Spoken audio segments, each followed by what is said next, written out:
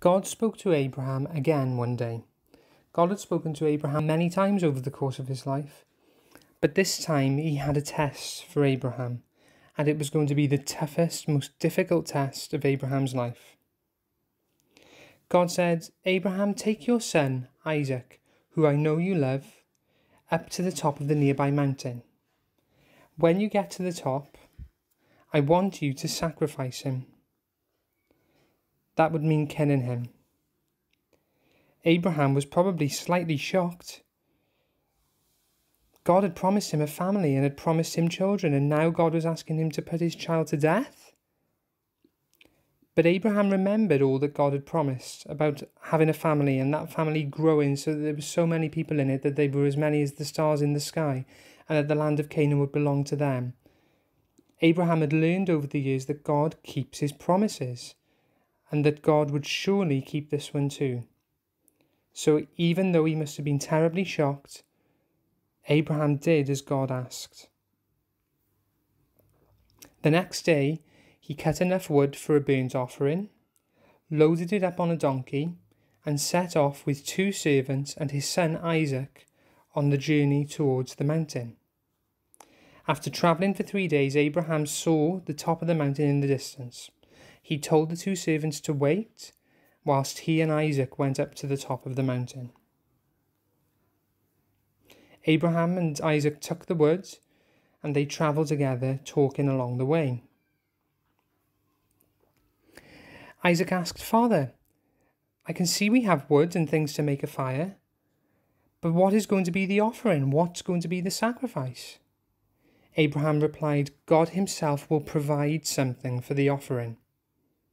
Abraham trusted that God would provide another way, and so the two of them continued their climb to the top of the mountain.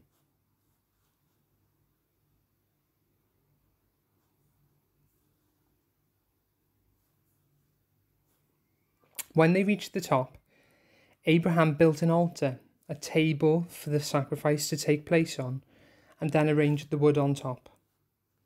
Then he did something shocking. He took his son, Isaac, and tied him up tightly with rope, and lay him down on top of the woods to be the sacrifice.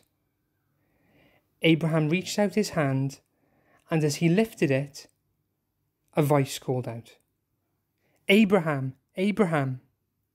An angel, a messenger from God, put a stop to what was going on. Do not lay a hand on the boy. Do not touch him. Don't harm him. I know that you trust God because you were willing to give up your only son. At that moment, Abraham looked over, and there in a nearby bush was a ram caught by its horns. He took the ram, and the ram became the offering instead of Isaac.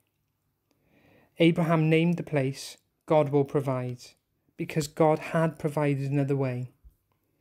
Abraham had passed the test, the toughest test of all, and Isaac was safe.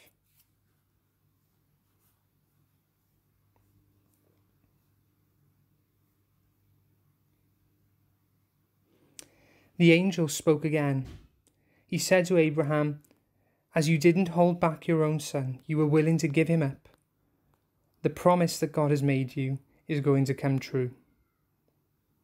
Your family will become as many as the stars in the sky, and just as many as the sand grains on the seashore. You have listened and you have trusted in God. Abraham and Isaac went on their way and returned to where they were staying. So, Abraham finally trusted God, and it was enormous and powerful trust. As we look back over Abraham's life, he so often failed to trust the promises made to him by a perfect and kind God. But in the end, he has shown massive trust, hasn't he? Trust bigger than the confusion he must have had. Trust bigger than the pain and the agony he must have been feeling. Trust bigger than we could imagine most of the time. Of course, God was never ever going to allow Isaac to be killed. He's too loving and too kind. And besides, his promise would have been broken if he'd allowed that to happen. But what this test showed was that Abraham has learned his lesson, and he has learned it in a big way. What a show of trust in God we see here at the end of the story of Abraham's life. When God makes promises, they need to be trusted. The big question is do you trust God and do you trust the promises that He makes to you? Because the promises He makes in His book, the Bible, are promises made for people like you and for people like me. We need to trust God and the promises He makes to us. Do you?